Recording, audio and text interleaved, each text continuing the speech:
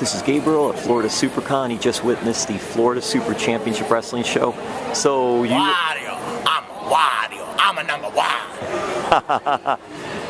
What do you like? You're a wrestling fan and you're also into the anime, the cosplay, sir. and all Yes, this. sir.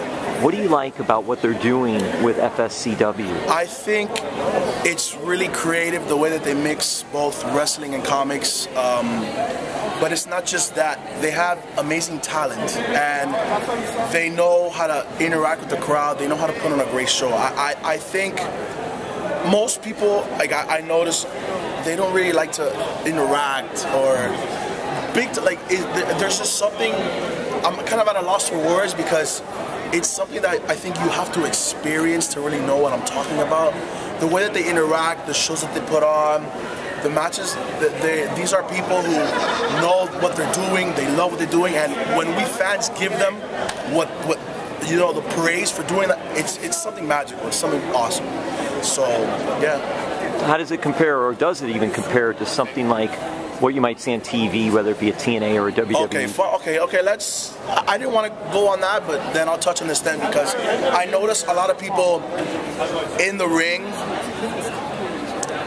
I, I, I think they really more connect with the fans like at different meets or different stuff like that.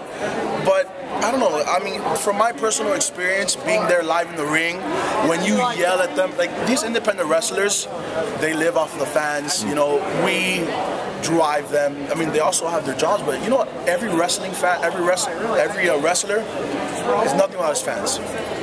And I think when I watch WWE and TNA, I don't see them like high fiving or really handshaking or, you know, really. There, there's something. This is more personal. No, I, I think I feel it's more personal. I feel they interact more with them. I, I feel, you know what? After, like, like for example, after the shows, you can see there and the wrestlers come out and you can talk to them. You can chit chat with them. You don't have to go to like an event or pay money just to chit chat. There's just something that way that they connect that I don't think professional industries really do. Maybe for liability reasons or something.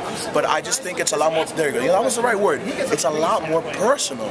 Just just being uh, just after the matches, just talking to them. It's it's awesome. It's awesome. Who are some of the characters that you enjoy watching? Ah man. I love the Power Rangers. and they incorporated some of the original Power Rangers, Yeah, Austin St. John. the Red Power Ranger. Yeah, the original Red. He was there as an enforcer for the the match, the main event match, uh, Justice League, uh, Justice League of Wrestling. It was Hurricane, Link, Green Arrow, and then Cobra. And I just liked how they had him there as an enforcer when Cobra tried to gang up on them. Um, who else do I like? I like I like Bane, Deathstroke, um, you know, Deadpool. Um, I don't think there's really anybody I don't like. I, I it's just because they know how to put on a good show.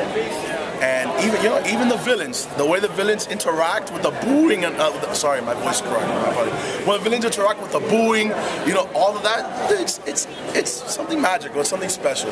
So I don't think there's really a wrestler that I don't like. They, they just know how to interact with the fans, and it's awesome. Like this guy, this guy right here, he's a wrestler, and he's a heel. But all the time, he's one of the coolest guys, and this guy busts his ass at what he does. I got a lot of respect for this guy. But me and him will go back and forth, talking mad smack. But at the end of the day, he'll give me myself a handshake. Dog. We'll chit chat talk like it's super cool because that's just in the ring.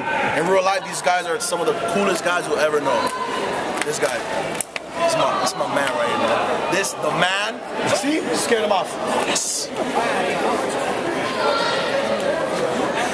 ICW George in the house. George is the man. Oh, you know George then. Oh, he knows. Okay, good. Scorpio. is- Scorpio, that's right, Scorpio. Scorpio. All right, thank you so much. See, like, see that? That's what I mean. Just random stuff like this. They connect with the fans, and I just don't feel. Okay, I'm gonna use I'm gonna use kind of an example. I don't know if it's the best because I understand the conventions that the, the people need to get paid, but you know, you go to Kevin Nash and to like get a picture with him or something, it costs like twenty-five dollars. I don't need to pay to get a picture with them. It's just a different experience. It's something awesome, you know. I don't have to worry about that. I can chit chat and get to know them. That's it.